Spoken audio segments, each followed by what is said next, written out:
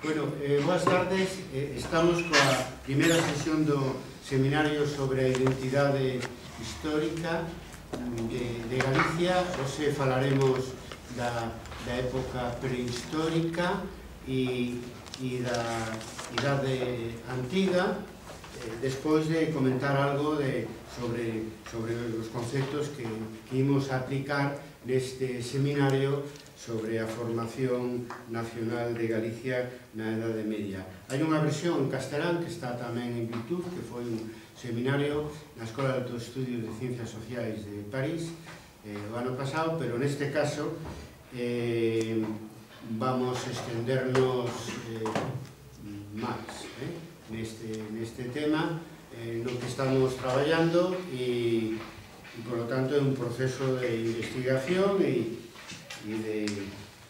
e de interpretación da, da, da, da formación da, da identidade galega que está inconcluso, ¿no? Me sirve este, este, este seminario, deste máster de estudios medievais justamente para, para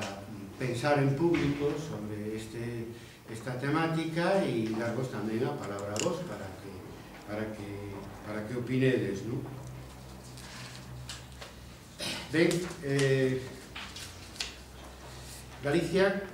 como sabemos todos, é unha nacionalidade histórica de orixen claramente eh, medieval. E non o decimos eh, nos, desde Galicia, e tamén a Constitución de 1978, onde eh, a hora de, de definir o estado de autonomías que surde a transición á democracia, eh, define eh, como casos especiales eh, a situación de Galicia, de País Vasco e de Cataluña, que pudemos acceder ao Estatuto de Autonomía eh, en aqueles anos por unha vía especial, se queredes, por unha vía máis rápida, justamente por ser nacionalidades históricas reconhecidas na Constitución eh, española. ¿no? E, bueno, por lo tanto, é un fenómeno recoñecido, histórico, recoñecido institucionalmente a partir de, da transición e, e que obriga tamén, claro, a, aos que estudiamos, neste caso, Historia de Galicia, e investigamos, neste caso, Historia de Galicia, profundizar nesta, nesta formación nacional na, que, que, que, que, que ten os seu climas na, na época medieval por unha razón moi simple, porque despois da época medieval eh, Galicia deixa de funcionar como nacionalidade libre non? Eh, na época sobre do absolutismo e incluso eh, nos séculos XIX e XX ata a, a Primeira República hasta a Segunda, hasta a Segunda República e logo onde parcialmente pois supoido votar un estatuto de autonomía e logo hasta a transición dos anos 77, 78 eh, en que se, se fundou a democracia que, que os temos adaptada a un, a un Estado eh, multinacional como é o Estado e multiregional como é o Estado democrático español. No, obviamente, decía, eh, antes de, de, de empezar a gravar, que Galicia é un ten un, un enfoque, o sea, enfocar o, a cuestión nacional desde o punto de vista histórico en Galicia é un paradigma para entender o que é a Europa das nacionalidades eh, medievais. É dicir, as nacionalidades modernas nacen na época da Edade Media e Galicia decía que é un paradigma neste noutro tema, en outros temas, justamente porque nese período que a nos nos interesa, ou se falaremos da prehistoria, antiguidade e, e mañán e pasado da Edade Media, pois Galicia está especialmente conectada co resto de Europa. Eh, durante a época a, antiga eh, eh, e prehistórica a través do Atlántico primeiro e, e do Mediterráneo despois, e logo durante a época medieval a partir do século IX eh, a través do camiño de Santiago. Entón, ese foi o destino histórico de Galicia, estar eh, na periferia de Europa, no, no, no fines terrae, no fin da terra, pero ao mesmo tempo estar eh, vivindo eh, a través das comunicacións, independentemente da período, do período histórico, estar vivindo as innovacións que se estaban a producir no, no consulto de Europa ou eh, na, para ou no, no centro Europa, non? Depende, eso, no centro Europa para a época medieval, pero eh, no sur de Europa para a época antiga eh, eh grego-romana como, como, como, como ben sabemos. Da que estivimos, estivemos relativamente lonxe, eh? ata, naturalmente, que foi, Galicia foi ocupada antes, eh, definitivamente no século I antes de Cristo por, por Roma hasta ese momento veremos que a nosa relación exterior é sobre todo unha relación eh, atlántica. Por lo tanto, estamos falando de Galicia, pero estamos falando de como se forma en Europa a partir das linguas romance as diferentes nacionalidades que o se ben constituen estados en, en Europa, ben eh, se coaligan entre sí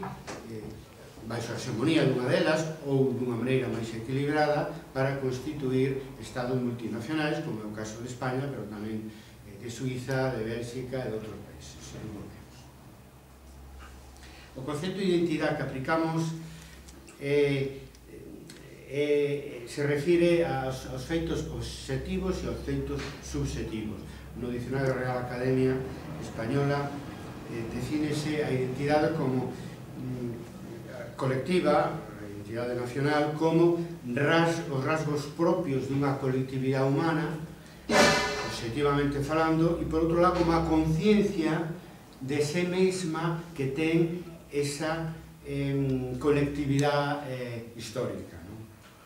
É dicir, a conciencia que unha mm, comunidade histórica ten en relación con outras. Claro, a conciencia, en definitiva, eh, diferenciada no sempre vamos a tratar de, de enlazar ambos con ambos, ambas nocións de identidade. Identidade como un feito objetivo que non depende da vontade do suxeito colectivo e a entidade como unha conciencia dese suxeito colectivo de, de constituir un, eh, ou de vivir nunha comunidade diferente a, as, a, aos veciños, as comunidades eh, veciñas. Conciencia que adquire a súa máxima dimensión no século XIX coa, coa formación dos, dos nacionalismos, non? pero que está en todas as épocas, están todas as épocas históricas en maior ou menor medida. Bueno, falamos de, falaremos de, da Galicia castresa, e claro, preguntámonos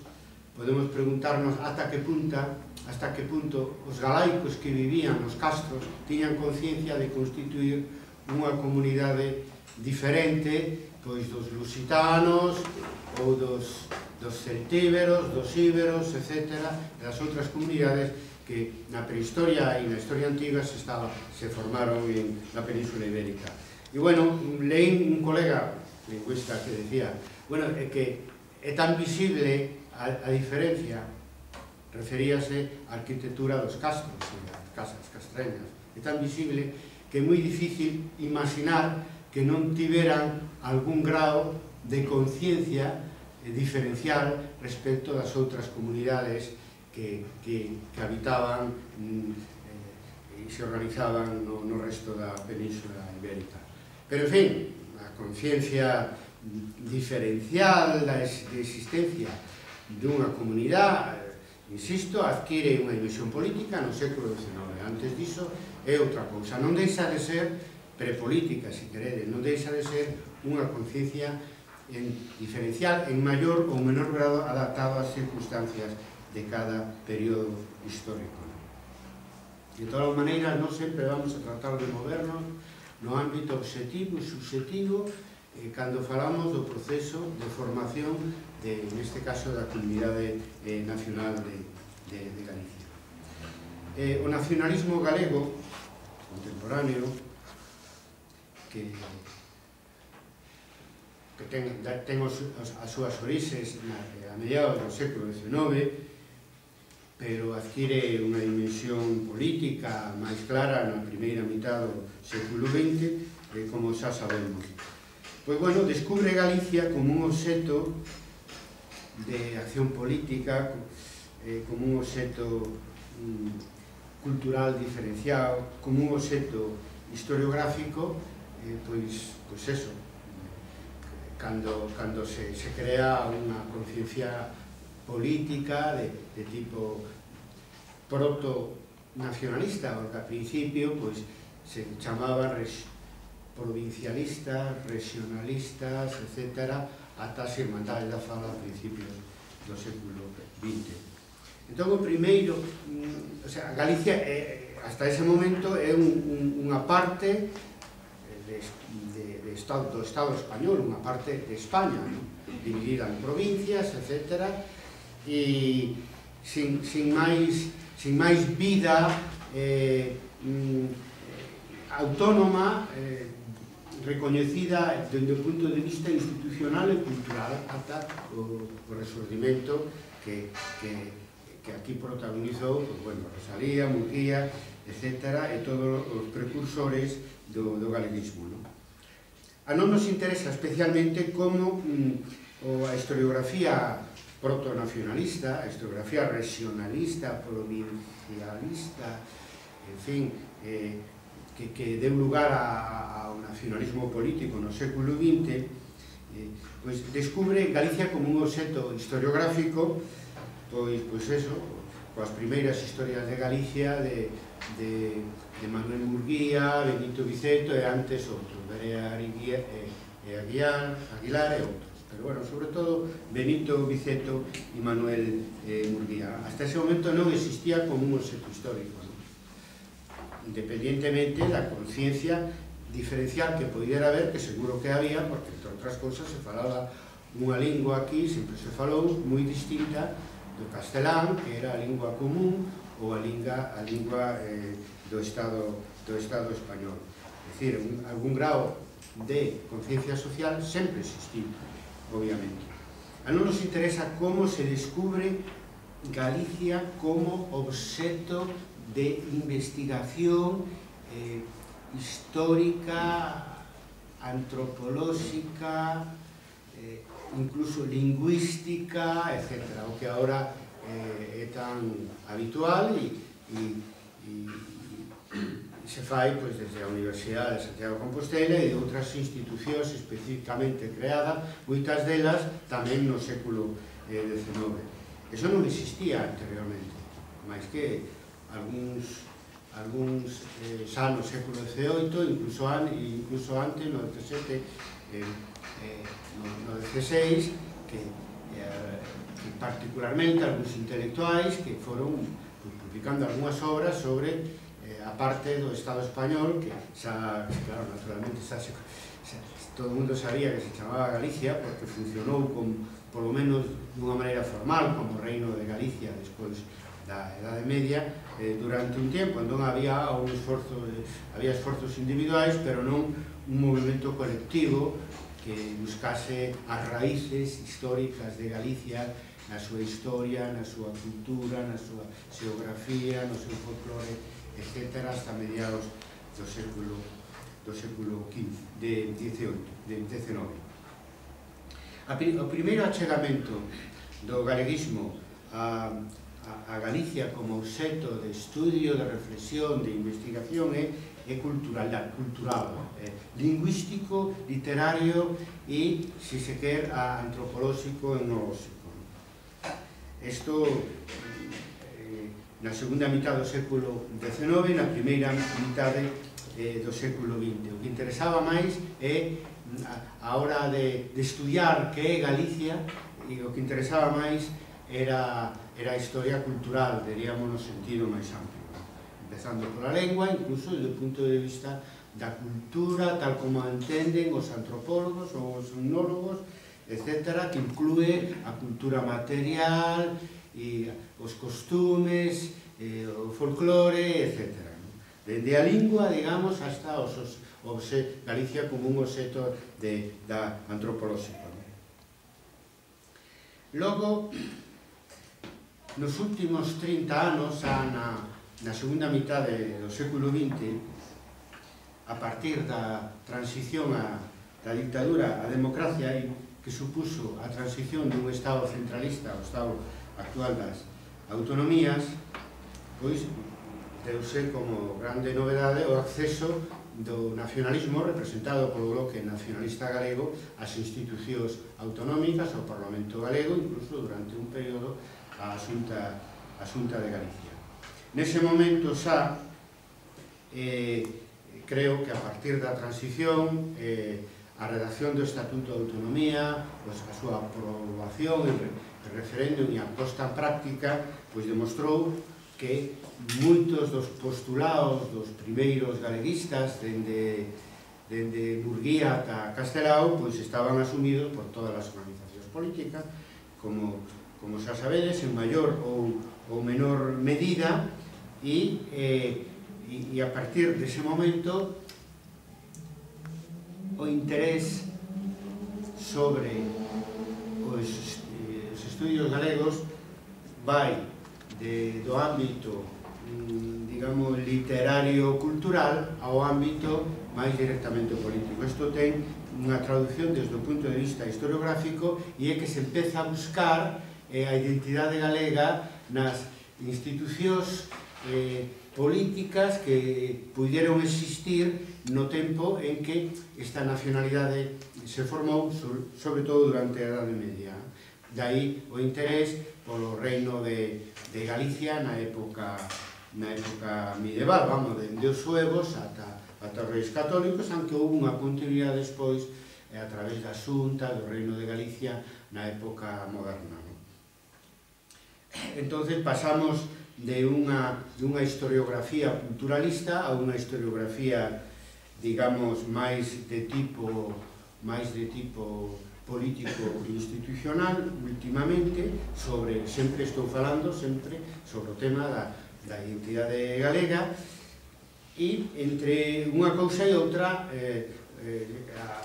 a historiografía eh, en Galicia, en España, en toda Europa, avanzou eh, no sentido contrario, avanzou desde unha historia político-institucional co positivismo eh, a unha historia económica-social co marxismo e coa escola de análise, que, que, que, que, que non se puso en relación con esta temática de identidade galega. Porque ata con algunhas excepcións individuais eh, ata este momento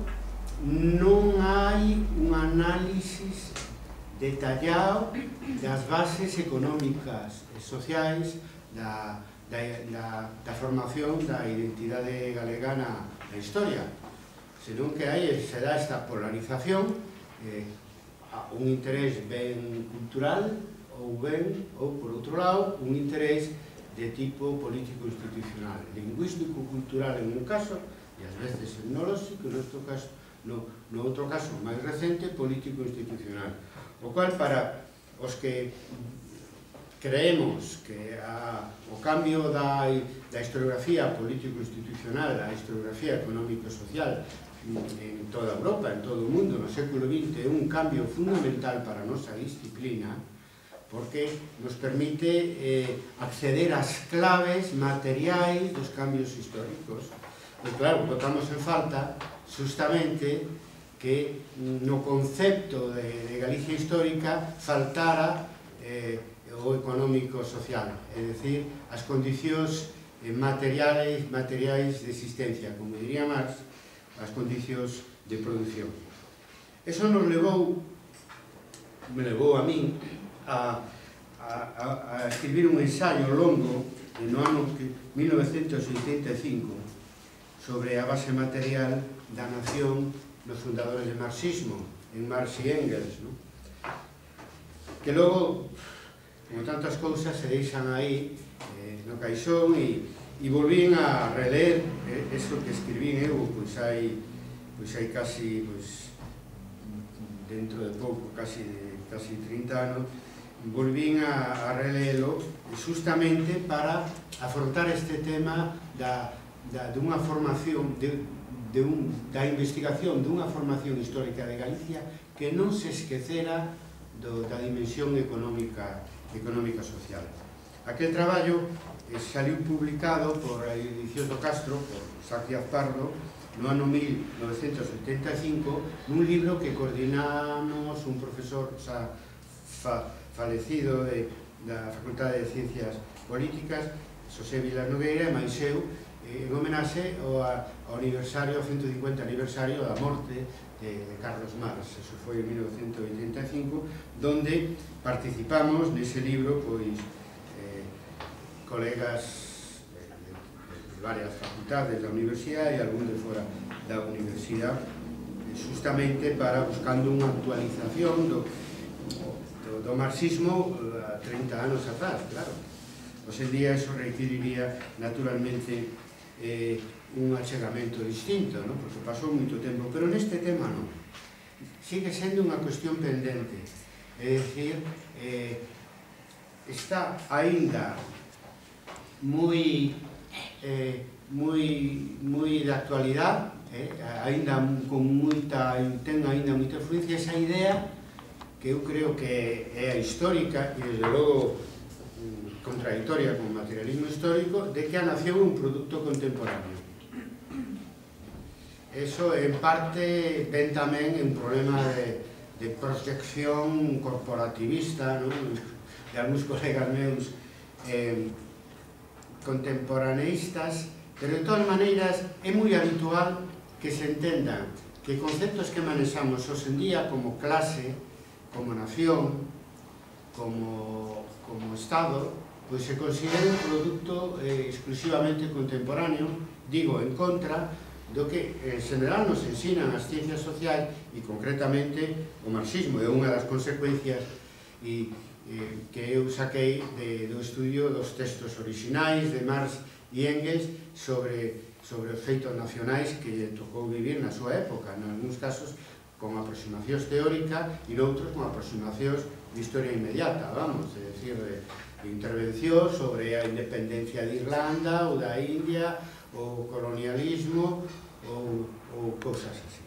entonces aí é onde aprendemos que eles entendían a nación, igual que a clase, igual que, igual que o Estado, como unha consecuencia da historia a partir do momento en que é historia, ir a partir de que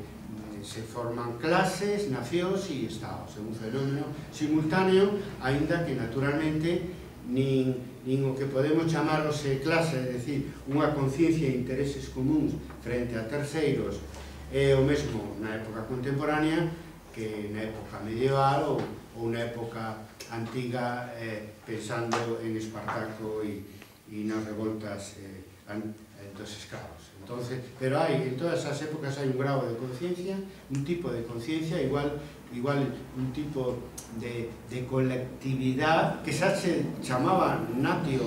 na, na época en latín, non? O que pasa que non tiña o contido político que terá que terá eh, posteriormente, refería solamente ao lugar de nacemento, o lugar onde... Pero, eh, en definitiva, a palabra nación ven de, de, do latín e, e, e por algo e por algo se sigue usando ao longo de todas as épocas históricas ou ben sinónimos para explicar esas comunidades eh, que non son de clase, que non son de equipo social, sino que son interclasistas, que se forman vinculadas a un territorio, a unha lingua, etc. Por lo tanto, non entenderíamos nada do que, por eso que a Constitución ten razón, no? do ano 78 neste aspecto, non entenderíamos nada do que de por que ahora vivimos en un estado de autonomía ou por que temos estos conflictos como neste momento entre, entre, entre o Estado, o Goberno e Cataluña, etc. Non entenderíamos nada se, se non eh, sabemos como se forman históricamente estas comunidades cando menos da, da, dende a edade media en, cara, eh, cara, cara adiante. Pero claro, decía que así como Marx e Engels, por razóns obvias, buscaron, no caso do fenómeno nacional, igual que falando do Estado ou de calquera outro, outro tema, buscaron sempre a, a base económico-social, a base material que justificaba eses, eses feitos que eles sobrevaloraban probablemente, pero aprendimos os demais a non infravalorar a importancia das bases materiais dos, dos objetos históricos que queremos estudiar, eh, señan de calquera tipo que, que seña. Moitas veces a base material pois, ten, eh, supón un factor explicativo eh, menor, pero con frecuencia, eh, cando se trata de fenómenos históricos de longa duración, sin eh, un enfoque económico-social non se entende. Por lo tanto, eh, o que, o que falta a, aos, o que faltou sempre nos enfoques en, eh, galaguistas, nacionalistas, non só aquí, senón que noutros, eh, noutros lugares da, da península e, e de Europa, o que faltou sempre no estudio do fenómeno nacional foi o factor material, o factor eh, económico económico social eh, nos nos planteamos, vamos, eu me plantexo nesto como noutros temas nos que traballo, seguindo un pouco a orientación que levamos na rede de Historia e Debate, mm, eh, aplicar un enfoque global a, para o estudio dos fenómenos históricos complexos, casi todos son, desde logo o fenómeno nacional é un fenómeno complexo, eh, e como as nosas disciplinas se desenvolveron dunha maneira eh, eh, en fin, fragmentada, é dicir, donde, donde conforme fomos descubrindo novos enfoques e novos temas, nos fomos especializando cada vez máis, ose, a, a, a novedade en, en historiografía, cando todos os temas e enfoques parece que están descubertos, é enlazar esos, esos temas, esos enfoques e diferentes tipos de fontes históricas para tratar de de perfilar aproximacións globais aos feitos históricos. Eso que xa se falou hai tempo, que nunca se fixo, se falou por parte do marxismo, por a escola da anales tamén, pero non se conseguiu de unha maneira plena, sigue sendo eh, un tema pendente na histori nas historiografías do século XXI. Daí que, por todo o dito, eh, a mí me parece fundamental para explicar o feito nacional en general e o feito nacional galego en particular Mm, establecer a relación que, que se dá entre economía e sociedade por un lado e cultura, política e mentalidade por outro. Aí está a clave explicativa da formación das identidades históricas e da súa continuidade ou da súa desaparición.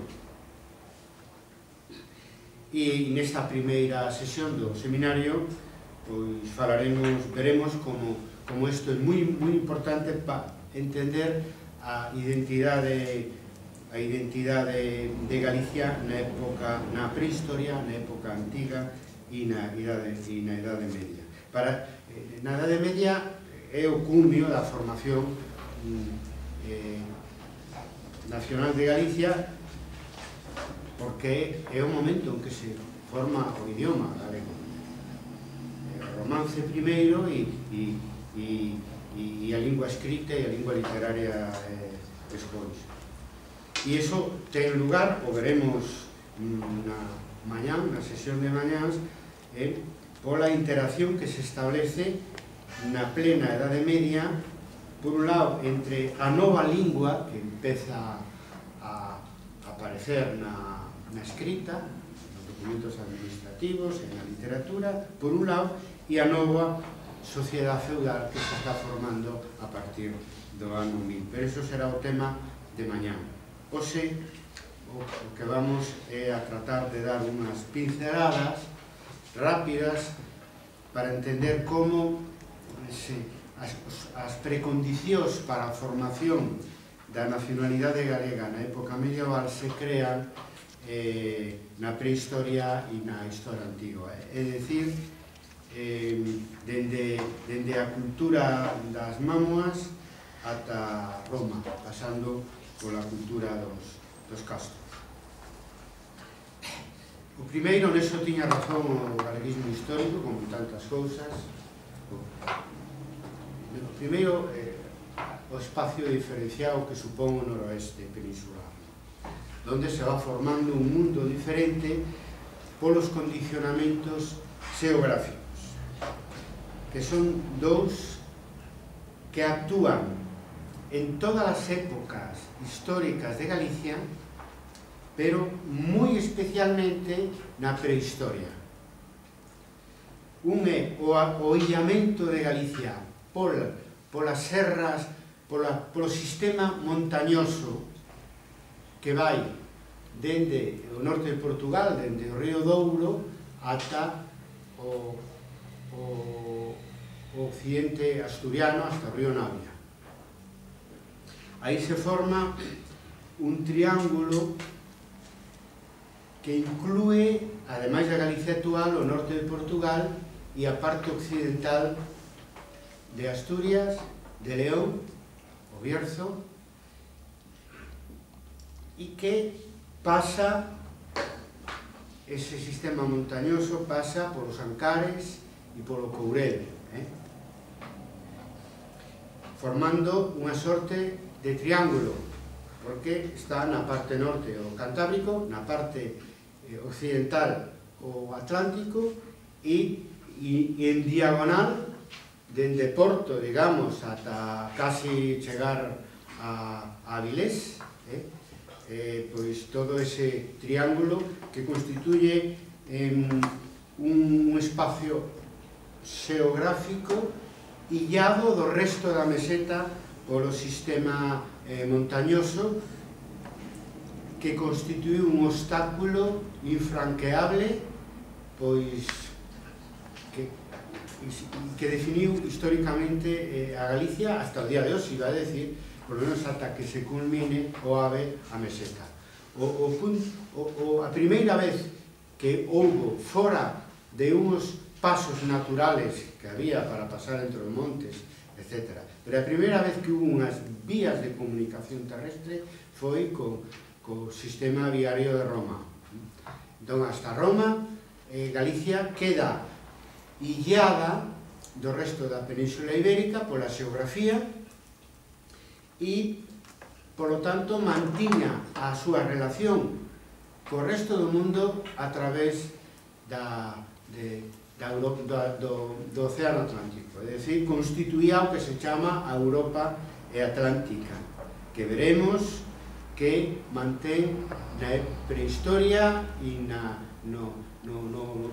e no principio da, da, da historia antigua mantén un desenvolvemento eh, sincronizado de alguma maneira eh, entre, entre o noroeste peninsular, é dicir, o que a, a, neste momento a actual Galicia, o norte de Portugal e partes de Asturias e León, pois con, con eh, as Islas Británicas, particularmente Irlanda e Gales, e con eh, a Bretaña, eh, a Bretaña francesa. Eh? Eh, unha Europa atlántica que será que terá un desenvolvemento moi parecido na época megalítica e logo tamén na época que aquí lle chamamos eh, castreña, a través dos celtas e non dos celtas, tamén de outras etnias indo, indoeuropeas.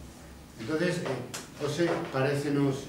en fin, difícil de entender, pero Galicia vivía, estaba aberta ao mundo porque non lle quedaba máis remedio, ao mundo marítimo porque non lle quedaba eh, eh, máis remedio polas propias condicionantes da, da xeografía. Por lo tanto, Cando falamos deste noroeste peninsular, este triángulo eh, que vai, ten, vai, vai empezando a ter dende, dende pois, eu que sei, o segundo milenio antes de Cristo, vai empezando a ter unha historia sincronizada co resto da fachada atlántica, pois resulta que eso non só afecta ao que hoxe a Galicia actual e o norte de Portugal. Tamén, naturalmente, forma parte da historia de Asturias e de León. aunque son eles os que teñen que ver en cada momento, eh, en cada momento histórico, que importancia ten para a Constitución do Principado de Asturias pois, pois a súa pertenza, pois a cultura dos, das mamuas, de logo a cultura dos castros, e eh, e, e incluso pois a, ao reino medieval de Galicia, non? Ao reino medieval de Galicia, polo menos a partes máis occidentais tanto de, de, de Asturias como de León, ata o punto que cando se forma o idioma galego se falaba e se fala hoxe en día ainda nesas partes máis occidentales que quedaron, ao que quedou reducida digamos, a pertenza de Asturias e de León a, a Galicia histórica. Digo porque antes era moito máis amplia. Entón, aí non entramos, porque o, a importancia que pode ter a cultura da mamua e a cultura dos castros na historia de Asturias e León, senón que vamos a seguir o fío do núcleo de ese noroeste que estaba no que hoxe é a Galicia actual. Anque en algún momento se desplazou, como na época sueva, a, a Galicia Mm, do sur, a Galicia bracarense, a Galicia mm, entre o río Miño e o río Douro. Pero, ao final, non é casualidade eh, de que a formación de centros de poder durante a época medieval, primeiro en Asturias, e logo en León, e no medio en Braga, eh, que, constitu que levou a constituir un reino de Asturias, un reino de León e un reino de Portugal, en momentos distintos da nosa historia alto medieval, é dicir, entre o século mm, VIII e o século XII. Non? Pois entón se constituíron na periferia do que era a Galaecia, que é o nome que lle van a dar os romanos a este triángulo que constitúe o noroeste como entidade, como comunidade histórica. Non? Pois, eh, pois o, que, o que constituía, digamos, a periferia mm, eh, polo sur e polo, polo leste desa Galaecia constituirán eh, a través dos centros de poder que se crean monárquicos nesos tres lugares, Oviedo, León e Braga, van a constituir eh, tres reinos separados, o de Asturias que asimilou a Galicia, o de León que tamén contiña o reino de Galicia e o de Portugal que no século XII se escindiu do reino de Galicia e polo tanto do reino de, de León ao que pertencía eh, eh, Galicia. Por lo tanto, estamos falando dunha historia que en todo este tramo, digamos, eh, preismegalítico e castreso, é común con unha parte de Portugal, con unha parte de Asturias e con unha parte de León pero o que explica mellor que nada é naturalmente a continuidade de Galicia que foi, na miña opinión aos portugueses algunos estarían de acordo que mellor, digamos, resume hoxendía eh, esa, ese longo camiño que vai dende a época dende o neolítico ata, ata formación da Galicia eh, nacional eh, na época eh, na época medieval. Por lo tanto, eh, conclusión, que eh, ante, ante, o, ante o problema do illamento eh, físico de, de, de Galicia e do resto da península ibérica, que era, era naturalmente a súa relación histórica natural, non? Eh, pois entonces se eh, se, o centro da gravedade das relacións exteriores pasa ao, ao mundo marítimo, non? Eh, primeiro a, a, a, a, ao Atlántico, pero tamén nalgún momento a partir de que os finicios eh, toman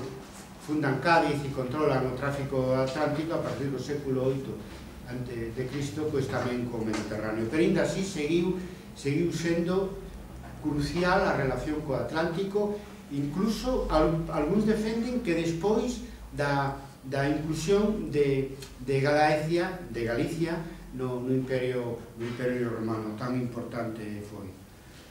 Mm, sin a conexión atlántica non se entende o megalitismo en, en Galicia, dos dous primeiros milenios antes de Cristo, nin os principios da cultura castresa, da cultura dos, dos castros eh, Galicia, é dicir, eu falo, entendedes, o noroeste peninsular, constituía, Galicia non existe como tal hasta a que coñecemos hoxe hasta a época medieval. Na época romana, Galaecia, que é moito máis amplio desde o punto de vista territorial que, que, a, que a Galicia que a Galicia eh, medieval. Pero bueno, o espacio, ese espacio do noroeste, primeiro das mámuas e logo eh, Castrexo non se entende sin a conexión atlántica porque o noroeste peninsular eh, donde logo se constituiría Galicia ocupaba unha posición estratégica para o control do comercio eh, con, con, con Europa. Hasta o punto que os investigadores de ese período teñen moi claro non solamente para o período megalítico, sino tamén para o período castrexo, por menos os, nos comenzos, teñen moi claro que as crisis que detectan de tipo económico, social, demográfico, etc., eh, no noroeste peninsular, é dicir, eh, teñen todas que ver co, cos problemas coa relación atlántica. Non? A última, naturalmente, pois é o colapso do comercio atlántico a partir da incursión fenicia que sustitúe a, ao noreste peninsular no control de, das, da, das, da, vía da vía atlántica de, de comercio e entón a, a partir dese momento se diversifica, se buscan as relacións con o Mediterráneo pero nese momento xa Galicia veremos como xa provocar, xa, en Galicia xa se provocara un desenvolvemento autóctono que non precisaba tanto da relación exterior, aunque sempre foi un estímulo a relación exterior para incluir novedades, etc. Por tanto, eh, os momentos de crisis e reactivación na prehistoria teñen que ver, cando son graves e agudos, teñen que ver co, cos avatares da relación eh, atlántica. Por lo tanto, eh, estamos falando de, de un factor mm, moi importante o factor xeográfico para entender a identidade galega, aunque esa importancia vai sendo menor conforme a, a avance eh, a historia e as comunicacións e, e a partir do momento, sobre todo, en que Galicia atopa un desenvolvemento propio con características propias o que ten lugar durante a época dos castros, na cultura castro. Antes decía que veño falando de megalitismo e veño falando de, de, de cultura castreña, castresa, vamos a decir mellor castresa. Bueno, a, na época megalítica aquí coñecemos como a época a cultura das mámoas, as mámoas son os túmulos, eh, as montañas artificiais de terra que escavando, pois, pues, debaixo atopamos dólmenes, é decir, unhas pedras hincadas de, de, de determinada maneira dos verticais unhas, horizontais outra e que eh, era unha, era unha tumba de, eh, de, normalmente de personaxes importantes, etc. E, polo tanto, se trata de unha cultura funeraria que, que como se trata eh, eh, que como se trata de, eh, do resto arqueolóxico máis importante define o megalitismo non só en Galicia, sino en todo Europa Atlántica. Se chama megalitismo, que se trata de grandes construccións mm, de pedra, eh, generalmente eh, con un objetivo eh, funerario, pero tamén para outros, outro tipo de objetivo. A outra eh, manifestación de, de, nesa época histórica eh, son os petroglifos ao aire libre, etc., que abundan moito en Galicia, como, como xa sabemos. Esta, esta cultura megalítica se desen, que, que coñecemos a través dos restos arqueolóxicos eh, se, eh, se manifesta en Galicia no momento de máis auxe da revolución agrícola neolítica, non? o, ne, o neolítico empeza, como sabemos, o Oriente Medio, o Egipto, en Mesopotamia moito antes, que, que, que aquí na, en Europa Occidental, etc. E supongo pois unha agricultura desenvolvida, etc., que supera a fase de, de, de, de, recole, de recolección, etc., na, desde o punto de vista de, da, da economía desas poboacións que deixan de, de pescar e, e de recoller froitos a cultivar os, os terreos. A revolución neolítica pois, é o fenómeno máis importante eh, en fin, da, da antiguidade eh, eh, en fin, europea e ainda que, que, que as, as súas orixenes orixes son eh, mediterránea. Pois ben, en pleno neolítico, esta cultura que coñecemos polos restos eh, pétreos, eh, que chamamos das, das mámoas, se manifesta de maneira relativamente parecida no sur de Inglaterra, en Irlanda, en Bretaña e en, e en Galicia.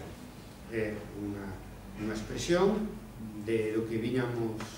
vimos de falar sobre o condicionamento xeográfico e, e como a, a, forma, a sociedade, a economía e a cultura que se forma no noroeste peninsular está mm, relacionada coa que se forma no resto da fachada a, a atlántica. Non? Bueno, aquí xa empezamos a ter unha cultura funeraria específica, peculiar, e igual os petroglifos, que teñen, no caso dos petroglifos, semellanza cos desilles británicas, pero tamén con aspectos propios. Por exemplo, eh, eh, os elementos geométricos dos petroglifos pois, son semellantes a ao resto de Europa, pero, pero non as formas humanas que polo regular aparecen aquí. Isto está bastante ben estudiado polos colegas que investigan eses períodos. A noso que nos interesa aquí é destacar eh, o megalitismo en Galicia como como unha cultura auto, por un lado autónoma e por outro lado mm, conectada co resto de Europa. Non diría autónoma, non sería neste caso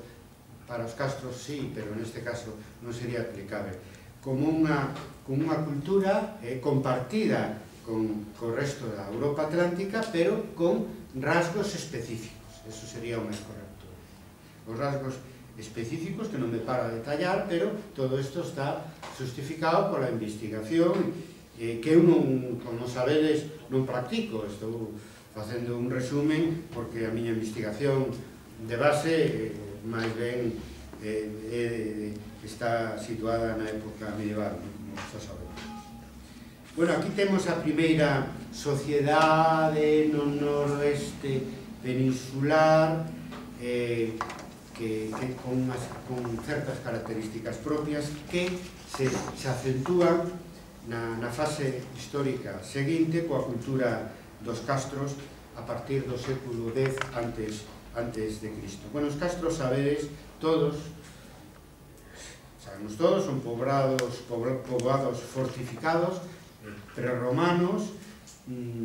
mm, se desenvolve na idade de bronce e na idade de ferro, nese espacio que xa coñecemos, desde o río Douro ao río Navia, pasando polos Ancares e polo, polo Cubrel, e decía xa antes que aquí é onde podemos empezar a falar nun momento dado de un desenvolvemento autónomo de unha cultura eh, galaica eh, eh, que, que antes non, non, non, non se daba. Eh, sobre este tema hai un debate hai un, hai un debate bastante encendido sobre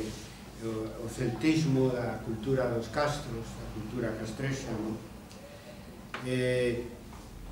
pois como, como todo que, toda a investigación que se faga sobre Galicia de punto de vista histórico, cultural, etnolóxico, temos que referirnos ao galeguismo histórico, que foron quenes empezaron estes estudios na primeira mitad do século XX. Todo de López Cuevillas, nun libro A civilización eh, céltica de Galicia, definiu como céltico toda esa, esa realidade eh, castresa todo, todos esos restos visibles,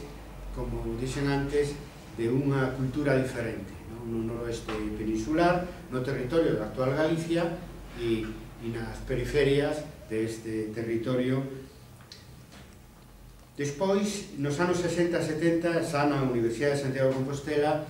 pois con Alonso del Real, etc., se entra nunha fase máis positivista, que foi productiva, porque permitiu mm, investigar sin, sin criterios previos eh, eh, os castros e, e entón se concluiu de que non estaba por lo menos arqueolóxicamente demostrado que houbera celtas en Galicia. Esas eso, eso se, se volveu a,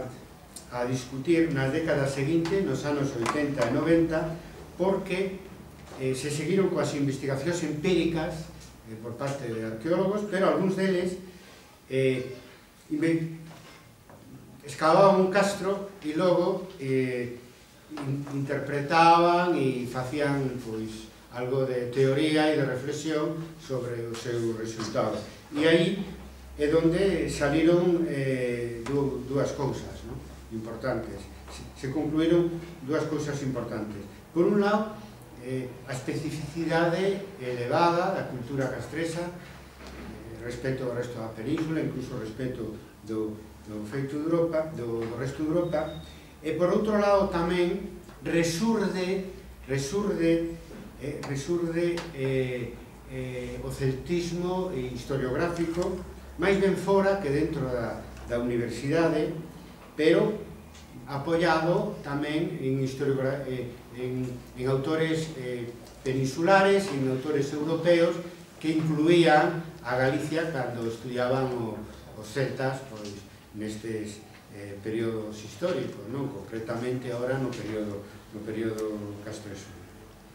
Entonces, bueno, aí se deu un encendido debate entre cas, eh, neoceltistas e, e, e partidarios de, da, da cultura castresa sin, sin ninguna connotación eh, étnica específica, ¿no? Muy encendido. De feito, agora tuve que volver a releelo para, para, para falar eh, aquí neste seminario e desde fora vese distinto, ¿no? vese distinto. Eu a, a miña conclusión é que que compre unha, unha síntese moi cara, porque leendo o que din uns e outros, acaba un convencido de, de que ambos teñen unha parte de razón de que a presencia céltica non se pode negar, por un lado, e por outro lado, que o carácter eh, distinto da cultura castresa que non é homologable exclusivamente á cultura céltica tampouco se pode negar. Por lo tanto aí é necesario eh, unha, unha síntesis e o único de positivo bueno, que ten este debate é que eh, se trata de justificar con investigacións prácticas, non? Entón, un, un ve que to, todos, de alguna maneira, teñen razón, porque se están basando en datos empíricos concretos, non? Por iso que ahora veremos como se pode chegar a unha síntesis visto un pouco desde fora. Tamén hai que decir que ese debate sobre celtismo ou non celtismo da cultura castresa en Galicia tamén se pode decir que eh, non indica que que alguén rexeite eh, a identidade mm, da sociedade galega nese momento, a identidade específica, ao contrario. Digamos que eu creo que en boa medida é un debate interno entre, entre galeguistas, entre nacionalistas, aunque, curiosamente, apoyando a tesis eh, celtistas, intervenen tamén eh, investigadores de, de fora de, de, de, de Galicia. Pero nos, os que estudian o período sobre todo castreño, pero castreso, pero tamén megalítico, ninguén pon en dúbida eh, dos que investigamos en Galicia, dos que investigan en Galicia, a, o feito de diferencial, eh, sobre todo no período castreso. Por lo tanto, quer decir que é moi evidente. Outra causa de, do debate tamén é que os que debaten entre sí se basean en fontes distintas e tamén como académicos pertencen a especialidades distintas, porque aí entran colegas que o que, o que se basean son exclusivamente nas fontes arqueolóxicas ou nas fontes narrativas eh, grego-romanas ou na epigrafía e que se chega, chegan Eso pasa moitas veces na historia, según o tipo de fontes, se chega a conclusións distintas, por eso requiere unha síntesis que por lo visto ten que vir de fora porque non é nada fácil para o que está dentro do debate quere decir que hai lingüísticas lingüistas hai historiadores sociais, hai arqueólogos que están debatindo por fortuna e reflexionando sobre ese tema que e, e o resultado na medida que se avance e, e síntesis pode e debe ser moi enriquecedor. Pola parte do, do centrismo, bueno, eu, eu, eu sei, que é un paradoxo que, que, por exemplo, que na historiografía galega non se recoñeza por parte de, de arqueólogos e algún historiador da antiga, etc. Hoxendía, cando a historiografía española pois inclúe eh, eh, o noroeste, o norte e o oeste de, da península no ámbito de influencia céltica cuso centro de gravedad están no, na meseta, é dicir, donde eh, o componente para esa época étnico principal de Castela, de Castilla la Nueva e, Cast e Castilla la Mancha eh, eh, e Celta, non? Mentran no Levante pois eh, in, a, a etnia predominante eran os íberos, por eso se, se ten chamado de Hispania como Celtiberia nese sentido. Por lo tanto, mm, os celtas estaban na meseta e se di que chegaron a Galicia pola vía da meseta. A, a outra teoría que chegaron, a súa influencia viu a través da Europa Atlántica, Porá, probablemente habrá que ver en, en, en, que, en que momento se, se afirma unha cousa e se afirma outra, probablemente as dúas eh, sean, sean certas. O sea, hai unha influencia céltica, unha presencia céltica en Galicia que, que en general defenden sobre todo lingüistas e, e os que traballan con, con as, as fontes de historia antiga que falan de Galicia, Estrabón, etc. Esos son os que defenden, defenden máis, pero apoiados pola historiografía española e pola historiografía europea, que inclúe Galicia tamén no ámbito de influencia celta eh, tanto na época megalítica como na época castresa non solamente a historiografía anglosaxona sino a francesa sobre todo, non me refiro só aos historiadores du, du Mesil no? e a teoría dos tres órdenes que está servindo últimamente en base aos datos empíricos que temos en Galicia das divinidades e o funcionamento da sociedade castreña está servindo últimamente tamén para demostrar a presencia céltica eh, na Galicia eh, castresa o cual quer decir que é anterior á, a época á época castresa polo tanto eh, eh, si o, eh, se ve que, que algún tipo de presuicio hai no? por ambas partes que Eso que fai o debate ricos, porque se non se polariza o debate non chega hasta as súas últimas consecuencias. Por eso digo que os que, os que falan da Galicia céltica pois teñen súa parte de, de, de, de razón. E, e, e, e o justifican os que estudian, os que atoparon nas fontes antigua, antigas, na toponimia, nas inscripcións en pedras, pois ele, elementos para estudiar a lin hai algún elemento para estudiar a existencia de lingua céltica e de etnia céltica e de cultura céltica na Galicia deses períodos, o sea que está claramente demostrado. Primeiro, porque na fonte antigua se di claramente dos, dos povos que, que preromanos en Galicia hai célticos e non célticos. Eh? E, e das palabras eh, que aparecen en latín hai algunhas célticas e non célticas, ¿no? tanto nomes de persoas, como nomes de castros, como divinidades, etc., así como a toponimia hasta o día de hoxe. De feito, no galego medieval entran tamén elementos, elementos celtas. Logo, sempre hai alguén que di, bueno, que na arqueoloxía non se demostra eso. Bueno, pois hai que sí, non? Hai que di que sí, que naturalmente hai elementos arqueolóxicos, igual que se di para a época megalítica, que se atopan no resto da Europa atlántica de influencia céltica. Pero de todas maneiras, mm, se acepta máis facilmente eh, a influencia en sistemas políticos, etc. De todas maneiras, insisto no que decía antes, é moi difícil que hai asa unha lingua e unha cultura celta e, e cando falo de cultura incluo a religión e eh, na cultura castresa os elementos destes e que eso non supoña que detrás hai unha diferencia mm, eh, de tipo etnolóxico que incluía a cultura material. Porque non se pode explicar a cultura sin, sin a súa base material e, e viceversa. Conclusión, eu creo que é evidente porque pues, se está dicindo que a, os celtas na, na Galiza antiga, eh, eh, chegaron en escaso número en comparación coa meseta, por exemplo, co, coa Galia, etc. Pero, eh, eh, en contraposición a eso, pois tamén se trata dentro da, da, das linguas e culturas indoeuropeas, a céltica é a máis definida, é dicir, que ten a máis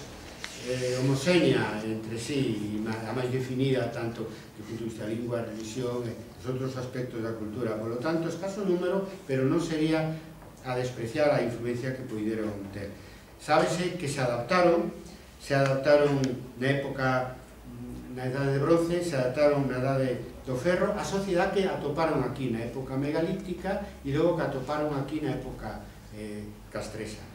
Hubo unha incursión ao principio da Edade Media, falarei dela despois, e tamén se adaptaron á sociedade medieval que estaba en proceso de, de formación.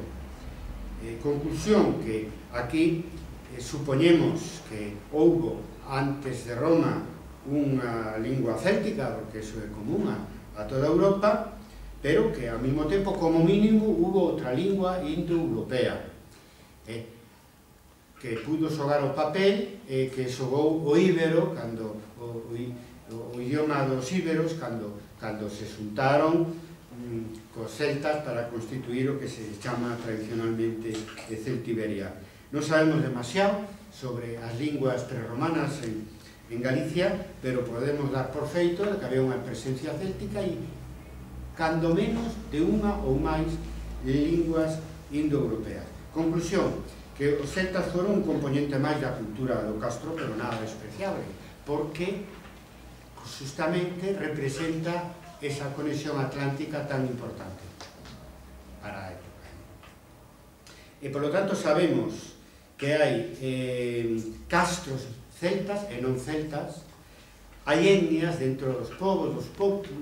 hai etnias, eh, algunha delas que eh, os cronistas da antigüedade eh, romana eh, definen como celtas, clara, claramente, e sabemos tamén que esa, esa influencia céltica foi maior no norte que no sur, é dicir, na Galicia actual que no norte de Portugal, sempre eh, minoritario. Decía que eu iba a comentar que hai unha influencia tardía no séculos 5 e 6 de, de inmigración celta, dunha migración celta de celtas que veñen dende o sur de Inglaterra e se instalan unhas colonias no norte de Lugo eh, for, formando un obispado ali eh, e, e que se chamou Britonia en o seu momento e que agora é unha parroquia de, eh, do, do, do obispado de, de, de, de Mondoñedo. Entón, nese momento tan importante do reino suevo, en definitiva, eh, pois, se que esta, esta presencia tardía celta pois un pouco consolida e é un reflexo, consolida esa, ese componente celta, da, neste caso xa da, no inicio da cultura medieval. Bueno, os, os, os que coñecemos como folclore celta é máis ben un produto como que non chega na antigüedade ata máis alá da, da, da Edade Media. Pero esta, hasta a Edade Media continuou esta, esta relación atlántica e que nos, que nos vincula a, ao mundo celta e ao mundo indoeuropeo en, en, en general. De todas as maneiras, de todas as maneiras, eh, a par, esa, esa, esa cultura castresa de que estamos a falar mm, con un componente celta, con unha conexión atlántica, logo reforzada ou sustituída en parte por unha conexión mediterránea, conexión mediterránea mm, a partir dos fenicios, pois eso naturalmente eh, entra nunha, nunha etapa de, mm, de, de dinamismo propio, de, de desenvolvemento autóctono que será eh, o característico da identidade eh, castreña. Eh, bueno, eu creo que os colegas de, que estudian ese período teñen razón cando afirman que é o período, digamos, máis específico da formación mm, histórica de Galicia, salvo o período medieval, que é o climas de este, decía, eh, o momento álxido de este proceso de constitución de, da, da, da Galicia histórica. Eh, entonces, mm, eh, nese momento eh, nes, ese noroeste, nor, nor, noroeste casteso adquire carta de naturaleza eh, coa, coa conquista romana porque mm, eh, bautiza como Galaecia a este, este territorio con, con unha cultura común, que é a cultura castresa, que nos chamamos, tan, tan definido, e y, y pois, como para alcanzar eh, eh, eh ese grau de provincia dentro do imperio diferenciado do, do resto da, da península. E do resto de Europa porque mm, nese momento digo xa eh, se mantén a relación co, co Atlántico pero hai unha relación moi forte so sábese pola cerámica que se atopa nos castros eh, co mundo mediterráneo e naturalmente cando eh, Roma eh, o século anterior a, a Cristo, vamos, cando Roma conquista eh, o terri, a, a, a a cultura dos castros e, e bautiza como o noreste peninsular como Galicia, pois eso supón tamén a apertura a meseta, non? a través das, das vías de, de, de transporte terrestre creadas por os polo romano. Pero nese momento xa os galegos eran moi distintos. E, e non só non cambiamos baixo Roma, sino que eh, baixo Roma a cultura castrexa alcanza o seu desenvolvemento máis elevado, o cual é outro paradoxo da, da, da historia. Bueno, a identidade castreña, pois os arqueólogos a definen pois, polo tipo de aldeas fortificadas, dos castros, o uso da pedra, que incluso nos castos máis antigos pois non se empregaba, se empregaba madeira ou pallabarro, en fin, algún outro material, en fin, que, que, que desaparecía co tempo, eh, se empeza a usar pedra, eh, tamén as casas circulares son, son propias do noroeste peninsular, o tipo de, de sollas e outros elementos moi específicos do noroeste peninsular, o que bautizarán, como Galaecia os romanos. Na epigrafía, Gerardo Pereira, meu colega de, de, de, de Antiga, estudiou eh, nas inscripcións en pedra das lápidas romanas,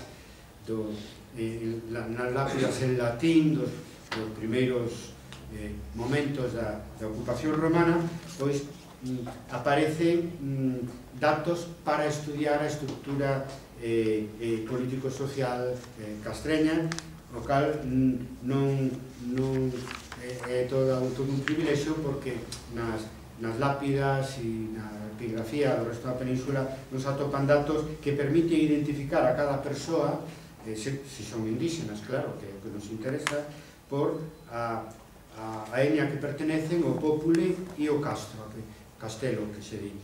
bueno, os castelos serán outra cousa pero se utiliza castelo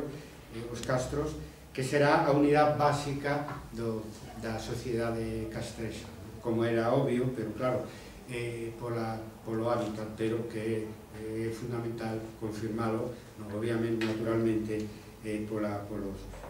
polo, polas fontes neste caso eh, arqueolóxicas Eh, non sabemos eh, moi ben, eh, xa o dixen antes, se había ou non unha lingua común eh, para, eh, entre os castros de diferentes etnias, eh, conectarse entre sí, comunicarse entre sí. Pode ser, pero non, non hai datos como para confirmarlo. O que sí sabemos é que o latín vai servir como lingua vehicular para conectar a cultura castresa entre sí. Isto, máis as, as vías interiores que construyen os, os romanos permitirá eh, e, e, e o comercio e etc e o desenvolvemento do comercio e etc e da agricultura permitirá decir o que, o que antes falábamos. É dicir que paradoxalmente o momento de maior desenvolvemento da cultura castreña é no século romano entre, é dicir, entre o século I e o século II o século IV. De feito, eh, López Cuevillas fixo o seu libro sobre a civilización céltica de Galicia en base a seis castros excavados que había un momento, que era moi pouco, nos anos 50 do século pasado, pois, e eran todos eles, ao parecer, eran castros da época romana, o cual quere dicir que a, a ocupación romana pois, introduzo cambios administrativos e que diluíron os populi, é dicir, as etnias internas da cultura castresa, pero tamén iso favoreceu a súa unidade. Os, civiti, as civitas, eh, por un lado, e os foros, por outro, como centros de administración de tipo comarcal, etc., que se superpoñían a esa realidade eh, indígena eh, castresa, eh, e permitían paradoxalmente o seu maior desenvolvimento, pero non sin, pero non deixaban, claro, impactas esa cultura. Pero os cambios que producían os cambios para unha maior homoxenización, porque fora do latín non houve unha imposación maior que, que podía alterar a, o, o dinamismo da cultura de Castrexa. E o latín mismo foi utilizado eh, eh, mentras durou eh, a cultura castresa como, como nexo de comunicación eh, prioritario, bueno, un latín un latín provincial, un latín xa con elementos indígenas, etc., que é, digamos, a referencia máis antigua que temos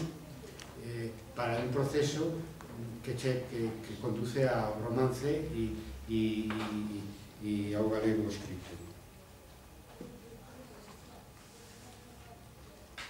Ben, entonces, pois aquí temos un megalitismo moi diferenciado, unha cultura castresa eh, aínda máis eh, diferenciada e que non só sobrevive, sino que se retroalimenta eh, coa, con Roma para desenvolverse máis aínda. Con todo, mm, Galicia é a primeira forma institucional, político-institucional, que, que ten o, eh, o espacio histórico do noroeste peninsular. Non? É dicir, Galicia é, por un lado, un recoñecemento da cultura castresa, vamos, do carácter diferencial de, de, de, de unha sociedade preexistente, pero por outro lado tamén, claro, é unha administración que, dis, falei dos das civitas, actividades, falei dos fóruns,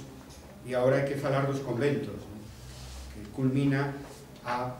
estrutura administrativa romana, pero que sempre sobre a base de respetar e aproveitar por parte da administración imperial e as realidades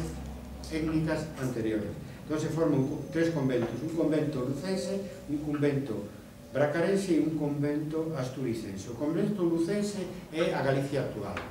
capital Lugo, evidentemente. Donde, tiña máis, donde sabemos que había máis influencia celta, porque claro, cando forman dous conventos distintos, para administrar a provincia a Galicia tres conventos distintos, es que ele xa son conscientes de que existen realidades colectivas, comunitarias, étnicas distintas. E sabemos que o que hoxe a Galicia actual, principalmente o convento cruceise, pois ten polo menos unha connotación máis máis céltica que o sur bracarense donde por outro lado ten unha connotación máis romana porque os romanos entran por Lusitania, por o sur e polo tanto é a, a parte máis romanizada da Galaecia, o sur, non? E logo o asturicense que recordades que esa cultura de todo o noroeste, incluía parte de Asturias e León, entonces esa Asturias e ese León, para os romanos, formaban parte de Galicia e aparecen reunidos tamén nunha circunscripción administrativa distinta ao convento asturicense, non? o cual facilitou que posteriormente, cos esos centros de poder que se forman, primeiro o rei de Asturias, primeiro o rei de León, se transformaran en dous reinos eh, distintos. O nome de Galicia sale de unha das etnias que existían anteriores a Roma, que se chaman os Galaeci, que o nome mm, servía, serviu para definir toda esa región e de Galicia logo se pasou a Galiza e Galicia, né? nos tempos nos tempos posteriores Parece ser que o nome de Galaeci non aparece despois da, da, da ocupación de Roma, non aparece máis. O último momento, o canto do cisne, é na batalla contra Bruto eh, no século II antes de Cristo, cando o general Bruto pois, eh, consigue derrotar a un exército eh, e entra eh, de lusitanos apoiados por Galaecis eh, di Estrabón que, que morren nesa batalla eh, na, en esa batalla morren 50.000 por 60.000 mm, en Galaeci bueno, logo entra en Galicia pola limia e ainda se celebran ali eso como unha festa de tipo romano eh, ese momento que, que entra Augusto, etc. E, polo tanto, mm, a Bruto será coñecido como galaico despois polo seu triunfo en ocupar e o seu éxito en ocupar en ocupar mm, eh, o que era eh, a parte noroccidental de, da península ibérica, ibérica, ibérica que se viña resistindo ao poder ro, romano.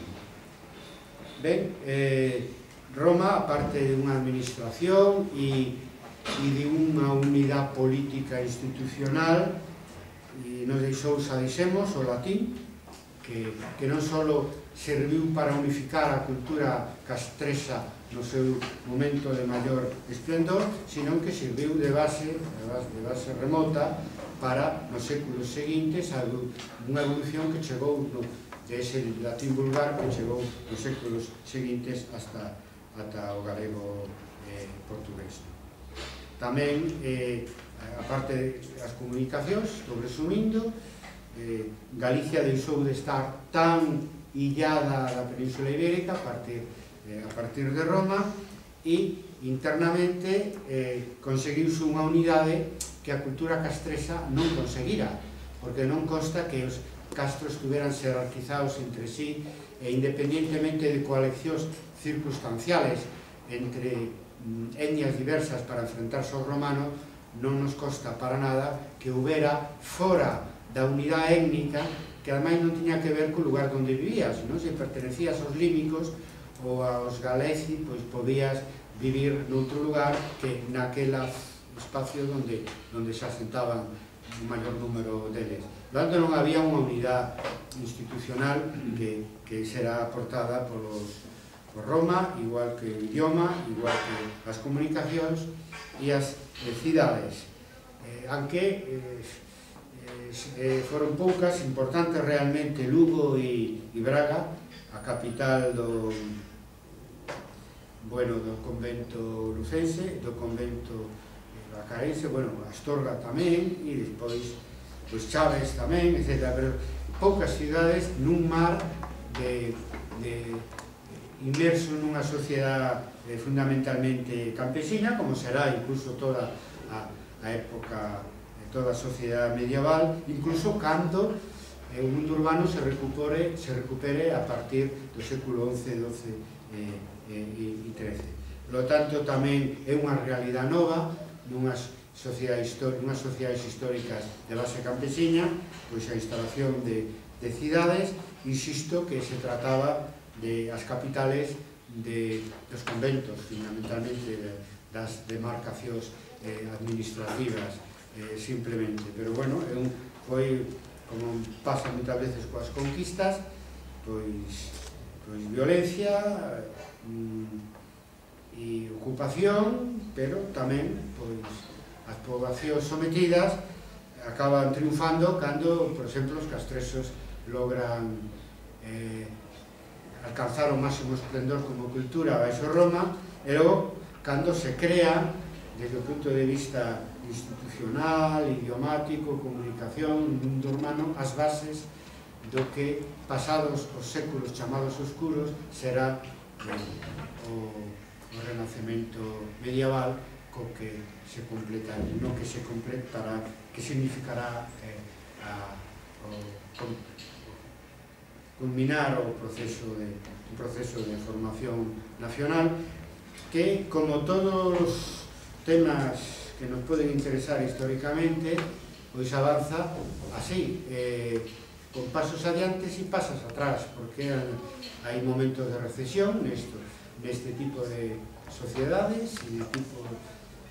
de culturas que se foron sucedendo, pero sempre existe, se pode establecer eslabón eslabón unha cadea que vai dende o megalitismo hasta, hasta, hasta a formación de Galicia na época eh, medieval. Aunque logo non é... Bueno, hai colegas que din que, bueno, que se pasa, pois, eu que sei, dos castros aos castelos, dos castelos aos pazos, bueno, Logo hai que facer un análisis concreto en cada caso, porque eu, como as coñece naturalmente a formación do sistema de fortaleza na época medieval e efectivamente algunhas delas eh, están en lugares onde antes houve un castro.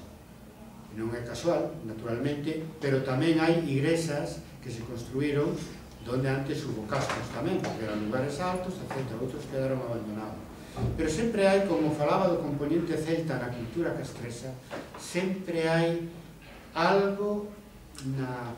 na, da formación económico-social anterior eh, na cultura, da cultura anterior na formación económico-social e cultural seguinte. E é o que explica que esteamos a falar de, de, de un país que se formou eh, ao longo dos, dos séculos como tantos outros. Nuns casos chegaron a formar idiomas separados e outros non, porque todos os e concluo por onde empecéi todos os, as rexións que, que, que coas nacionalidades históricas constituen España o, o Estado de, de Autonomías pois teñen unha historia e unha historia que tamén se pode escribir como a que nos decíamos aquí non? E pode, que pode vir tamén dende moi, dende moi atrás nuns casos máis conectados co Atlántico outros como sur e no leste da península co Mediterráneo e outro pois, nesa posición central que sempre eh, tivo a, a meseta para, para, para mm, asumir, para integrar eh, pois tamén os, todas as novedades, as emigracións que recibiu de outros lugares moi separados do mar, etc., pero tamén esa posición central que lle permitiu ao longo dos séculos a Castela pois sendo unha das nacionalidades formada na época medieval constituirse ou en, en eixe vertebrador polo menos de unha parte da península ibérica vamos, coa excepción de Portugal. Mais nada, e deixamos eh, por hoxe a lección.